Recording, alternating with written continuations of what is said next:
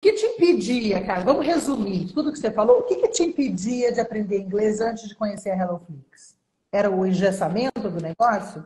Eu, eu acredito que seja o engessamento, o engessamento. E uma coisa que você fala também, né, durante o curso, você fala, falou na semana do inglês do zero, é a pronúncia que você fala do, do jeito, de um jeito que a gente entende brasileiro. Você fala do jeito brasileiro. É, esse seria a, a, o termo certo.